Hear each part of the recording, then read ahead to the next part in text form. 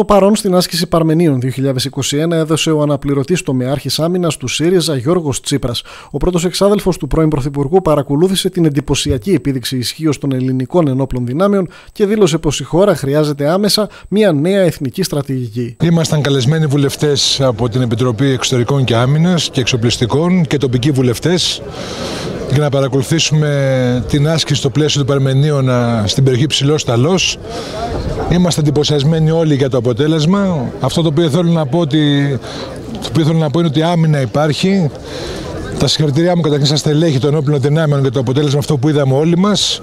Από εκεί πέρα αυτό που χρειαζόμαστε είναι μια νέα εθνική στρατηγική η άμυνα μπορεί να στηρίξει μια νέα εθνική στρατηγική που σήμερα δυστυχώς δεν υπάρχει. Αναφερόμενος στην μεγάλη αμυντική συνεργασία μεταξύ της Ελλάδας και της Γαλλίας, ο κ. Τσίπρας σχολίασε θετικά το γεγονός, τονίζοντας όμως ότι η κυβέρνηση έπρεπε να την είχε ολοκληρώσει νωρίτερα. Στάθηκε στη ρήτρα για την περιοχή του Σαχέλ, νότια της ερήμου Σαχάρα στην Αφρική, μια περιοχή όπου υπάρχει εδώ και χρόνια γαλλική στρατιωτική εμπλοκή, καταλήγοντας πως χρειάζονται περισσότερες διευκρινήσεις σχετικά με την πορεία που θα ακολουθήσει η Ελλάδα στο ζήτημα αυτό. Κοιτάξτε, είναι μια εξέλιξη καταρχάς θετική η οποία όμως έχει αργήσει αρκετά χρόνια. Να σας θυμίσω ότι είχε δρομολογηθεί τόσο το ζήτημα της επιλογής των Μπελαρά όσο και το θέμα της μιας αμυντικής συμφωνίας με τη Γαλλία στα χρόνια της κυβέρνησης του ΣΥΡΙΖΑ το 2018. Είναι ευτυχές γεγονός ότι κάπου καταλήγει. Από εκεί πέρα επιφυλασσόμαστε και περιμένουμε να δούμε τις λεπτομέρειες τόσο της αμυντικής συμφωνίας όσο βέβαια και του οικονομικού κόστους. Γι' αυτό είναι ένα πολύ μεγάλο ζήτημα για μια υπερχρεωμένη χώρα. Από την άλλη μεριά, σε ό,τι αφορά την αμυντική συμφωνία, έτσι καλώ είναι θετικό γεγονός. Όποιες και αν είναι λεπτομέρειες, υπάρχει βέβαια ένα ζήτημα στο ποια είναι ε, η δικιά μας υποχρέωση έναντι του έτερου μέρους.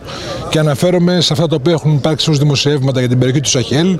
Το ανέφερε άλλωστε και ο ίδιος ο Πρωθυπουργός κ. Μητσοτάκης, που θέλει αρκετή συζήτηση. Ερωτώμενος για τη νέα αμυντική συνεργασία μεταξύ Ελλάδας και Αμερικής, που αναμένεται να υπογραφεί σύντομα, ο βουλευτής Δυτικής Αττικής δήλωσε πως πρόκειται για μια ανησυχητική κατάσταση, καθώς η Ελλάδα δίνει πολλά, αλλά δεν φαίνεται να παίρνει πίσω τίποτα. Κοιτάξτε, δεν μας έχουν ενημερώσει επίσημα ακόμα για το, για το τελικό αποτέλεσμα.